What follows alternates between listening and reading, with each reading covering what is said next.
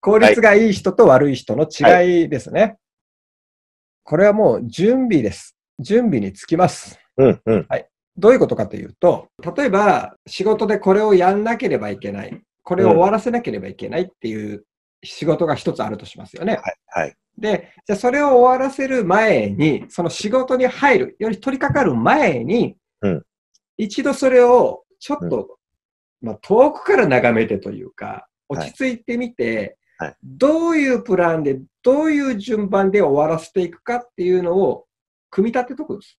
例えばテスト問題とかもそうですね。問題が出ました。で、問題を全体的に見て、うんあ、ここは時間がかかるな。ここは時間がかかる。ここは簡単だ。